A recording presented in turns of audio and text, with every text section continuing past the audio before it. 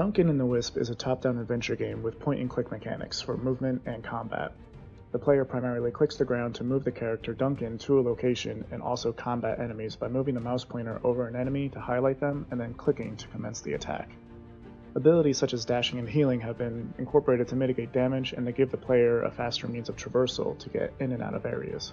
We also wanted to give the player something to work for and earn that would increase the power and abilities of the player. To do this, we gave the player elemental gems through a series of unlocks that the player could add to their arsenal of attacks. This would allow them to use the right mouse button to fire unique projectiles depending on the elemental gem they have selected. We also created a summoning system that ties directly into the elemental system. The summoning system allows the player to call upon the power of the elements that the player has selected at that time. This power will cause heavy damage to any of the enemies in the surrounding area, but depending on the element that's selected at the moment, it will also cause a specific effect that will help turn the tide of battle for the player.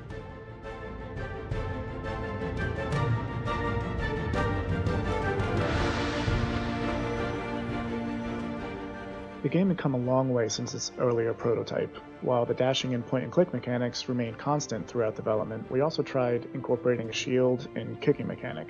The shield would essentially deflect lasers to solve puzzles, and the kick mechanic would just push objects around. One mechanic we had intended on being our core mechanic was a reality phase mechanic. Using this ability, the player was able to reveal different areas and enemies while navigating through the alternate reality. After multiple iterations of this mechanic throughout our capstone, the game began to take shape on its own, and it felt like we were actually forcing this mechanic to be in the game. After a while, we realized it just wasn't working and it didn't feel cohesive with the overall aesthetic of the game that we were creating. Reality phase mechanic is not the only mechanic that we ended up having to cut from the game. One of the main mechanics we actually cut was our pet system. It was actually the predecessor to what we have now, which is a summoning system. The pet system, like most MMOs, would allow you to summon a pet and then put them in aggressive assist mode or defend mode, and so on. And then the pet would actually go around and help you fight. Unfortunately, just like the reality phase mechanic, the pet system just didn't feel like it belonged in the overall picture of the final product. However, we still felt like we needed a companion system of some sort within the game, so we took what we learned making the pet system and turned that into our summoning system. Having made that change, we're actually able to make the game a little bit more engaging and fun and have the player a little bit more on their toes instead of being able to sit back and have the pet do all the work for them.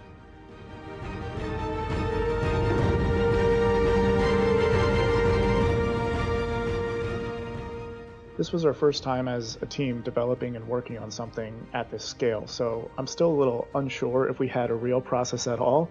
But what I can say that did work well for us was simply being honest with ourselves and our abilities to get certain tasks done, and trusting each other to get them done. So, being a student working on a project remotely requires a lot of communication, but how you communicate is just as important. I believe our team had a great approach of respect and candor towards one another's ideas and work. I personally played devil's advocate a lot just to try and keep things in scope. Sometimes you have to be that guy, but as long as your team shares the same goal and vision to have a complete project in just four months, it permits you to have that focus to say things like, no, this isn't working, why not this instead? And for others to be like, what? No, that sucks, what if we tried this? And so on. So constantly being honest and in your in your communication is key.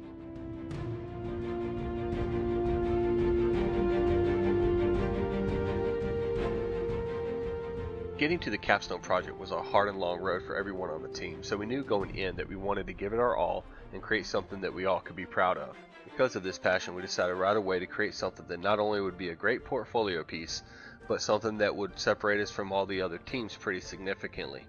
Many things were added to our project, and as they were tested, we weighed them against the rest of the project. If they did not feel right, we simply cut them and moved on.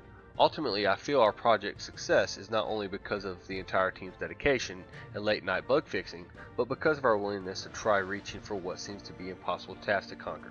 We refuse to believe that four months was not enough time to create a stunning, beautiful, fun work of art to show off to the world.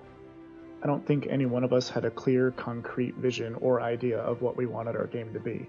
And I think that is what led to most of our success. Sometimes, if you formulate this grand vision, or if you have you and your team try to make your ideal dream game, you set yourself up for a lot of hardships. You lose that opportunity to just experiment and try things out, see if they work. If your idea didn't work, oh well, let's move on to another, and then another, and another, and before you know it, you have a game that's starting to take shape and breathe on its own. I believe that's what happened within our development process because when we all started to see what our game could be, we started to design toward that game while still repeating our same process of coming up with a concept, testing it out, seeing if it works, and continuing to iterate upon if, if it does. All in all, we hope everyone enjoys the game as much as we have enjoyed making it.